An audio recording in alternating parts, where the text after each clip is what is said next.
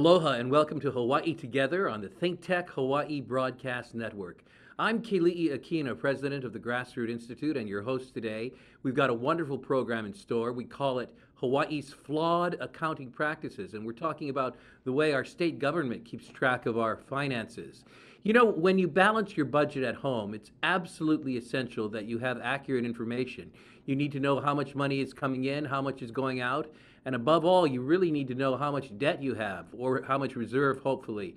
Well, the same is absolutely true for governments. Unfortunately, governments don't always operate with all the right information. But our next guest says that government accounting standards sometimes make finances appear rosier than they actually are. Her name is Sheila Weinberg. She's a CPA who has been in private practice before she founded the, the organization Truth in Accounting in Illinois. And uh, you're going to enjoy what she has to say. Actually, you might not. You might be crying by the time she's done because she's going to really give us the truth about Hawaii's finances. You see, Sheila says that Hawaii's government bases its accounting upon flawed government accounting standards. And that allows lawmakers to spend more and sweep debt under the rug. They're not really dealing with the real figures that would cause us to pause much more when it takes when we take a look at the expenditures of our state. But please join me now in welcoming Sheila. Sheila, thank you so much for joining us here today on the program. I'm delighted to see you. I know we've run into each other many times at national conferences. Your work is well known. Welcome to the program, Sheila. Well, thank you so much for having me. And and before you know we get into this all accounting detail, I, I like your analogy of a household and and their budget. What the governments are doing is kind of like, well, if my husband and I over the holidays, we decided that you know to live within our means, we're only going to spend each five hundred dollars. Um, and I, I'm I'm an accountant, so I check the checkbook every day almost, and I notice that my husband is living within that agreement and the holidays come up and I his gifts seem very generous and expensive, but I looked at the checkbook and everything seems to be okay. And then in late January, I get the credit card statements. and he has spent $1,200 on the credit card. And when I approach him, I'm like, sweetheart, what did you do? And he's like, well, I only spent $500 out of our account. I'm like, yeah, but you, you've put money on the credit cards. He's like, well, don't worry about that. We, we, we don't have to pay that for years to come. Um, and that's exactly what the government's doing. But instead of my credit card, instead of the elected official's credit card, they're putting it upon every one of your listeners' credit card, all the taxpayers. Well, Sheila, that's an apt illustration. In fact, that's exactly what's gone on here in the state of Hawaii. We are paying our payroll for our government employees on credit, but we're saying because we were able to use that money this year, the books are balanced this year. And so it sounds eerily like your illustration. Yes. But before we get into the weeds right now, tell us just a little bit about Truth in Accounting. It's been around at almost 20 years, I think. You founded it. Uh, what does the organization do? And uh, tell us a little bit about some of the accomplishments. Well, we what we do is I'm, I, I started it because I was very concerned about the citizens really having the financial information they need to be knowledgeable participants in their government. Um, I found at the federal side, at the state side, and at the local side that citizens are not just given information, they're giving the wrong information. So when they're deciding tax or spending policy, or even who to vote for, um, they're doing it based upon the wrong numbers. And you know, you, you say that, oh, in your state, you know, they say they balance their budget. So people think, oh, well, everything must be fine. I'll, I'll vote for these guys again. But what we find is that instead of everything being fine, they're charging things in essence to the credit card. And we really believe it's hurting our democracy, our representative forms of government. People are cynical. Um, people kind of understand that something's amiss. Um, and it really gets down to the basic uh, bad govern uh, budgeting and accounting. Now, your organization, Truth in Accounting, takes a look at the accounting practices of the government as well as the way g- governments in our states carry out their financial reporting. You've got a wonderful website that has some comparative data. Can you tell us a little bit about that? Yeah, so what we do is um, years ago, 11 years ago, we started issuing the financial state of the states. Um, so that included analysis of every single state. Um, and we calculate here's your assets, um, take away your liability. We don't include capital assets because you shouldn't sell your house to pay off your credit card bills. So we, we don't include capital assets and we calculate the money needed to pay your the state's bills. And then we divide that by the number of taxpayers and um, come up with a taxpayer burden. Well, the first year we did that study, people in Connecticut, were, it was the worst state because they have a lot of taxpayers, uh, very few taxpayers and a lot of retiree health care debt. And what we found, um, but they were upset because they're like, well, we have higher GDP or higher um, average salaries. So how dare you? So uh, we created this data-z.org website that you we have our numbers on it, but we also have 70, 700 other data points. So you can compare the states to based on you know their pension debt, based on um, the um, average attorneys in the state. Uh, we do find that the more attorneys you have in the state, the worse the state off. Unemployment, demographic, economic data, um, and voting information. So go on, you know, go on there. You can create you can create online on demand. Uh, your own charts to compare your state with other states. Now, you take a look at everything in your, your approach to accounting. In other words, it's not just how much money do I have in my checking account, so how, how big a check can I write today, as some people practice. You, you look at what a government might owe in five years or in 10 years, unfunded liabilities, we often call them, and, and other things. You look at how much they're borrowing and so forth and try to bring all of these variables to bear upon coming up with a, a figure that tells us what the financial health of a government is. Isn't that right? Yeah, and what we do is we go to the state's audited financial report and we pull up their assets. Um, as I say, we take off capital assets because you shouldn't spend those to pay your bills. We take off restricted assets and then we include the liabilities. Now, you're mentioning that these liabilities are owed in a few years, and I, I kind of would uh, disagree with that. They are owed today. It's kind of again, uh, and we get this from elected officials all the time. It's like, well, that pension debt, we don't need to worry about that. We're going to pay that off in years. Well, again, it's kind of like your credit card. Even if you choose to pay the minimum balance, minimum payments, it doesn't mean you don't owe the whole balance right now. So it's all the debt that they've incurred to date um, and that they're choosing to pay off in the future. They should have already, if they really balanced their budget, they wouldn't have have any debt to pay off in the future. They would have already paid it off. Well, Sheila, this is one of the first times I really enjoy being corrected. and I'm glad you did correct my language because, you know, it, you're absolutely right. We all start talking like our politicians sooner or later. We say this isn't due until such and such, but the reality is if it's due, it's due. And you're helping us to take a hard look at our condition and in a sense, you're like a financial doctor. Now, now let me uh, ask you about something because a lot of people place great faith in this government accounting standards. Uh, don't we have a system of government accounting standards that is supposed to tell us how finances are to be accounted for and how they are to be reported? And uh, isn't this supposed to keep governments in check in terms of the, the reports that they make? Uh, um, just so people people might have heard of the Financial Accounting Standards Board. Um, they set standards for corporations. So you know when IBM reports their numbers, uh, they have to follow the generally accepted accounting principles set by FASB, the Financial Accounting Standards Board. Years ago. Um, uh, the Financial Accounting Foundation tried to have state and local governments start to follow those standards. But state and local government officials said, oh no, we're different than corporations. We, we, we, we can't live by those rules. Um, so therefore, we're going to set up our own board. So they set up their own governmental accounting standards board. Right now, there are four people who currently or are former government employees um, from around the country.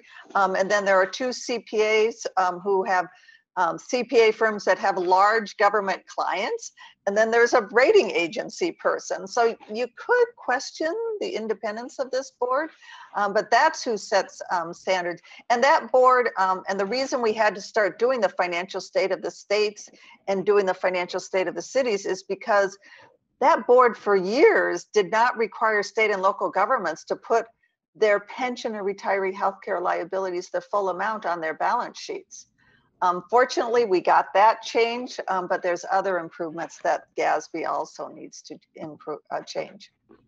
You know, that's quite something that you were actually instrumental in getting the GASB, the Government Accounting Standards Board, to change what it looks at. And, and, and I'm kind of shocked in, in a sense that they weren't looking at the pensions as well from the beginning, because one would think, as you used in your earlier analogy of household, you've really got to take account of all of the financial information in order to know what your condition is. Now, uh, in the news recently, there has been a, a disturbing movement in the GASB, and that is in, in terms of something they're doing now to alter the accounting standards. Uh, you've written about that recently, and uh, we at Grassroot Institute uh, did a news release in which we referred to that yesterday. Do you want to talk a little bit about that? What is the concern in terms of some of the changes that Yeah. are coming about right now? What's the big As I concern? mentioned, previously governments uh, were not required to put their pension, retiree, healthcare, all of it on their balance sheets, on their government consolidated financial statements. Um, And then we were able and recently, uh, within the last uh, five years, to get that change. So now governments have to put those liabilities on their consolidated statements. But unfortunately, governments don't budget on a consolidated basis. They budget on a fund basis um, the largest one being the general fund. Well, those statements don't have to include um, those liabilities. Uh, those are still done using um, the cash basis accounting. Again, that thinking of your checkbook. You know, it includes what goes into your checkbook and it includes only what comes out. Um, so, like in your state, your state, you know, in in the general fund statements, you will have a general fund balance, which to me means that you have extra money. Um, but those don't include all your liabilities. So those those are not a good, you know, it might be good for cash management purposes, but you know, the legislators and the taxpayers, um, uh, there's long-term commitments that have to be accounted for, and those are not accounted for at the general fund level. Let me just interject something here. Uh, Does this mean uh, that we're not really seeing the full picture when our government tells us we've got a billion dollar surplus at any given point? Yes, that's exactly right. The billion dollar surplus is based upon, it's a sur, might be, it's kind, I kind of related again back to your, you know, to the individual. It's like, hey, I got a thousand dollars in my checkbook, ignore my credit card debt. But I do have a surplus in my checkbook. Um, and that's what's going wow, on. This is so incredibly simple that it, that it's frightening. We're going to have more questions for you when I come back from a brief break. My, my guest today is Sheila Weinberg. I hope you find what she's saying fascinating. She's the head of Truth in Accounting, a firm that she started that is exposing the truth about finances in our government. Don't go away. We'll be right back on Think Tech Hawaii.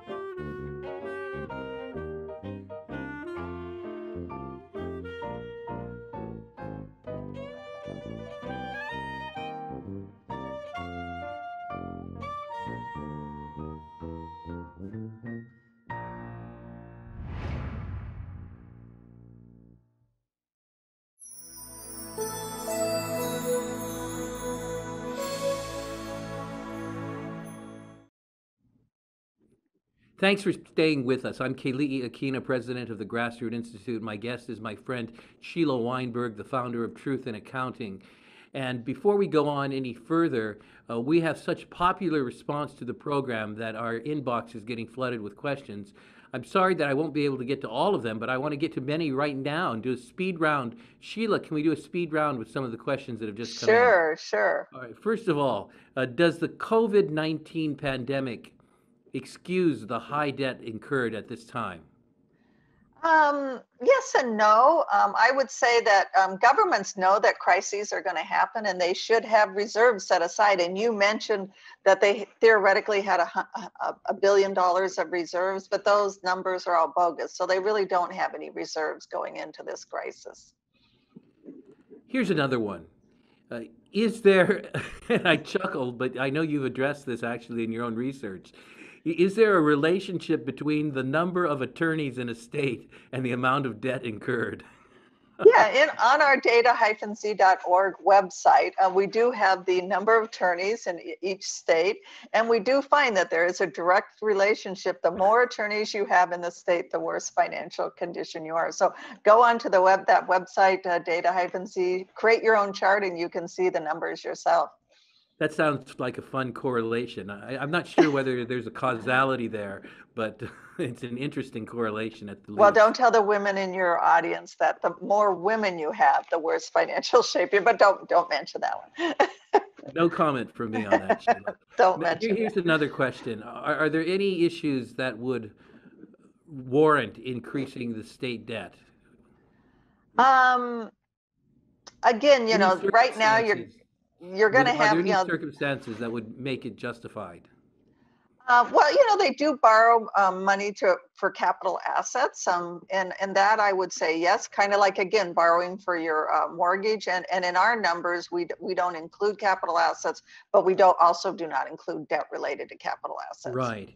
And, and I would think that there's a big difference between short-term operating capital that needs to be borrowed for infrastructure or for some project versus our long-range condition. And you look at both of these, and we're not looking enough at the long-range. Yeah, and again, you're really not if you're borrowing money to pay your you know your current expenses, you're really not balancing your budget. That that's a total uh, fallacy. Here's another question. How do we determine the accurate amount of debt that our government is incurring? Well, um, one, you can go to our data-z website. Um, you can click on Hawaii, and we also do the financial state of the city. So you can click on Honolulu, and we prepare a financial state of the state or financial state of the city for each one of those. So you can get the, there. If you're looking at another government, you can go to their um, as accountants call it, the comprehensive annual financial report. And you can find, uh, there's a number in there called unrestricted um, net position. And you can find that. We have a, just in case people really want to look into it, we have a, a video on YouTube called How to Read a CAFR, a Comprehensive Annual Financial Report. And that would walk you through how to read, even how to read your own um, governments. That's great. Appreciate that tool. You know, I, I really want to get to a few questions to help us understand the transparency level of our government's reports here in the state of Hawaii. Uh, w- we recently, as the Grassroots Institute, submitted some testimony to the GASB pointing out that our state borrowed money to pay for payroll costs. Now, Sheila, how is this accounted for in our financial doc- documents and how should it be accounted for? Um, well, at the fund level, which would be your general fund and your budgeted fund, it would be counted as a resource, um, almost like recording loan proceeds as revenues. Um, so it would be accounted for as an inflow and it would increase your balance. Um, uh, they would not show the corresponding debt you incurred um, on these general fund statements. Uh, and uh, they would, but they would record the uh, the loan proceeds as an inflow, so they would increase the general fund balance. Hmm. You know, uh, we also recently noticed that our state is swapping money for debt, such as when the legislature last year took $250 million out of the rental housing fund and replaced it with debt. What do you think about this practice? Well, again, you know, you're incurring debt, um, and and again, you you have a balance government you know balanced budget it's just not a mathematical thing. Um, you have balanced budget requirements. Every state except for vermont has a balanced budget requirement. The 75 most populated cities that we study have balanced budget requirements and they have them for very good reasons.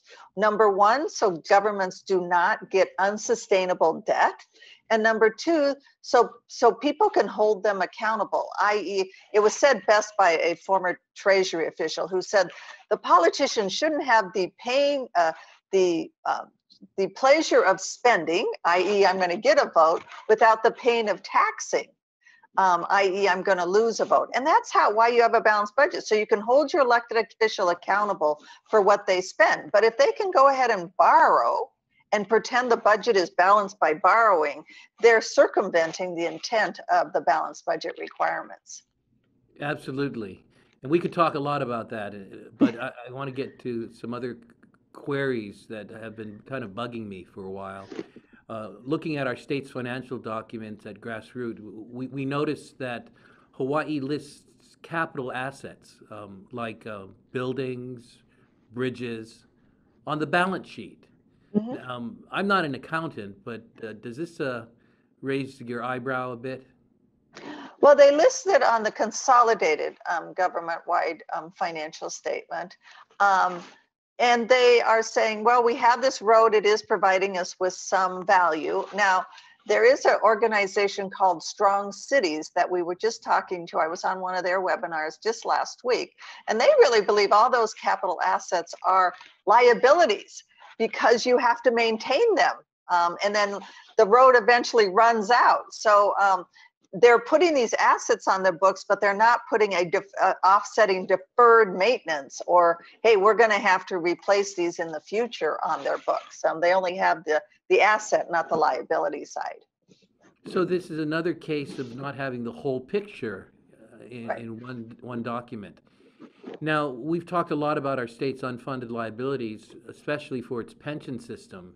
Uh, Currently, that's fourteen billion dollars approximately, and eleven billion dollars for our other um, post-employment benefits such as health.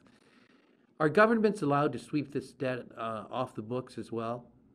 Well, as I say, for decades, most of that was put, uh, that was not included on their balance sheets. Um, and we did fight and get that to now it has to be on their consolidated balance sheets. Um, but now we're fighting to get that done at the general fund level. So again, your government can't go, if your government goes ahead and says, hey, we're running, uh, we have a billion dollar reserve in our general fund, there should be a financial statement that says, yeah, well, you might be able to say that you have that cash reserves, but here's all the debt that that that is dedicated to that money. So you really don't have surplus money that can be spent. It's already dedicated to some some of these liabilities you've already committed the government to. Well, you recently released information from Truth in Accounting uh, about government reporting in all 50 states. Uh, Tell me a few more things about Hawaii that our average citizen or government uh, politician may not really realize. Well, we calculate that um, the state has $16.1 billion that it needs to pay its bills. Um, again, this is the money that the elected officials have put on the taxpayer's credit card. Uh, that, that averages to $31,700 um, per taxpayer. That works out to be about per household. Um, we give the, any state that has a um, taxpayer, what we call a taxpayer burden, each taxpayer's share of the debt. Uh, we give um, a grade of if it uh, if a state has twenty thousand dollars or more, we give them an F. So your state received an F um, for its financial grade, and it is um, 47 out of 50 state out of the 50 states. So it is one of our. We never know whether to call it a bottom or a top sinkhole state. Um, it's is that bottom or it's the worst, one of the worst, uh, the third worst in the country. Now, now, Sheila, we happen to rank in the bottom quartile and the bottom five, even, and sometimes the bottom one in numerous rankings of uh, the economy, business climate, and so forth. But what does this mean in terms of your accounting for our, our finances, our financial health, so to speak, to be number 47 at the bottom out of 50?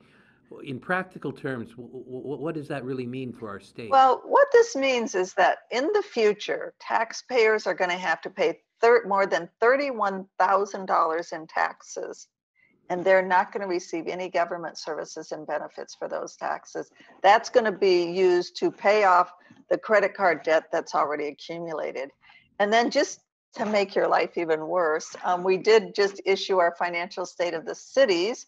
Honolulu um, also received an F um, and was the um, the third worst um, city of the 75 cities that we uh, studied. Um, so I, I hate to you know, give you even more bad news. So if you add those up, you know, you're talking 31,000 plus another 29. You know, you're talking more than 60,000 for everybody who lives in Honolulu. This is what they're going to have this is their share of the government's debt. You know, you can think of it as, oh, well, this is an additional credit card that I'm going to have to pay in the future in the form of additional taxes. You know, I don't think most of the people in the state of Hawaii and most of our government leaders realize the impact of what you've just revealed. I, I remember back when I was in college studying economics at Northwestern University, I majored in what was Keynesian, called Keynesian economics. I would often go down south uh, into Chicago to visit the University of Chicago and listen to a professor there named Milton Friedman. You know all about him because you live in Chicago right now. There was a little restaurant uh, near his office on campus called Tan Staffel, T A N S T A A F L. And to the informed, that was the definition of economics. Tan Staffel, there ain't no such thing as a free lunch. Sheila, I think you're telling us that's what's wrong with our accounting. It doesn't show. Well, and it doesn't, it doesn't just have, um, it has not just financial implication, like in Chicago, in Illinois, a state worker, when they get health care, because the state is so far behind in paying its bills, a state worker has to pay for their health care up front and then the state will eventually reimburse them in six months to a year. Um, and, and nonprofits have gone out of business because they've been counting on state money and they don't get it. Um, so this does have, you know, it's having ramifications right now. Um, and also, the state and local governments are not being able to provide the services that people need and want from their government because they're they're having to cover these prior costs. Um, that have accumulated. You know, we've so far somehow dodged the bullet, but we may not be able to do that all the time because these costs are going to add up in the long run. Someone will have to pay. Sheila, let's shift gears now as we go to the close of our program. What are some best practices that Hawaii could institute uh, in order to get ourselves out of our crisis? Well, we call it fact-based budgeting, full accrual calculations and techniques. You know, you should only include the revenues that you earn in your budget, not loan proceeds. You should include all the costs that are incurred, including those pension and retiree healthcare costs. Um, and just so on our website, truthinaccounting.org, you can find fact-based accounting and fact-based budgeting um, on how to fix that.